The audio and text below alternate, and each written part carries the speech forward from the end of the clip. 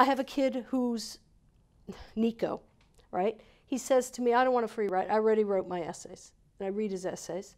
And I said, You want me to be honest with you? He says, Yes. I said, They're really boring. And I was in admissions, and I can tell you, they're super boring. You're super bright. You're really great. These are really This boring essays. This is terrible. terrible. and, and I said, So I have this method where I told him, you know, we're going to do this. Find five moments in your life in which you went into an experience one person, you came out changed.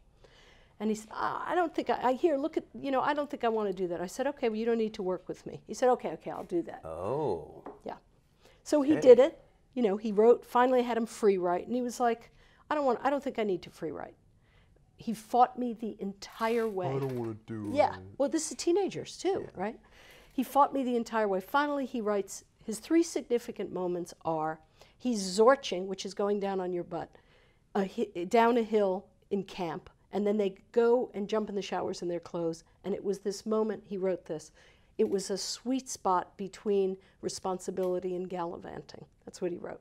Then he wrote another one, which was really cool. The Oakland Rec Department had students not students, potential lifeguards, watch a video, real live video of ho- a ho- security camera video of a hotel pool, yeah, in which a lifeguard is playing with the kids, no, no, throws one of the five year olds into the deep end by mistake, or she doesn't think about it, throws him into the deep end, gets out of the pool. This is all on security camera footage, real, right? Gets out of the pool, goes to buy a Coke, oh, comes back in. Yeah, The kid died?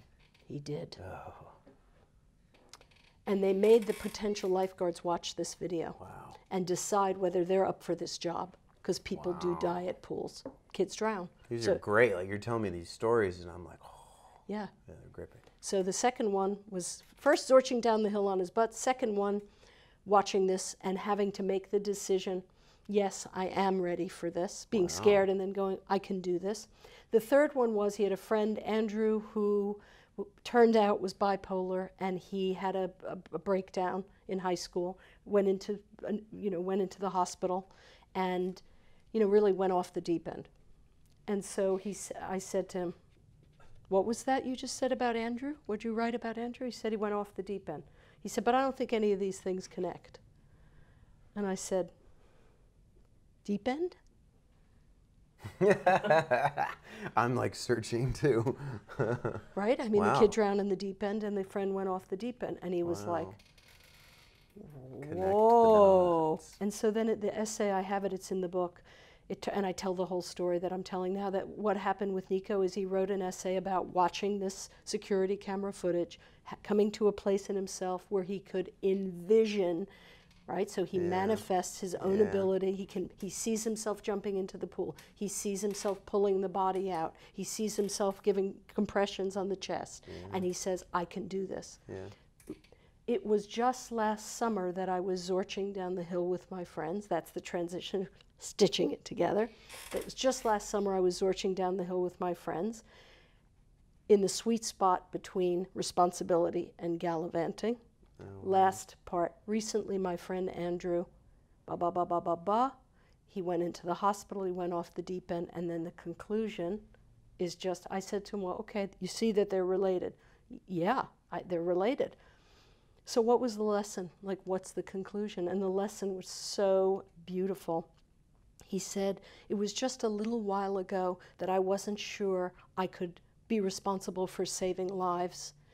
And he said, I came to see that I was. But an even more important lesson that I've learned is you can't save everyone from drowning. And that was his essay. Well done. Yeah. So that's what I do. I It's basically like magic. It, well, it's the same thing you do, which is I ask them what has, you know, what in their lives have cha- has changed them. A moment. Moments. When they. How do you put it? Uh, you, you. Five significant moments and moment where you go into an experience one person and you when you come out you're not the same. Where you go into an experience one person, you come out and you're not the same. I might steal that. From you. That's so good.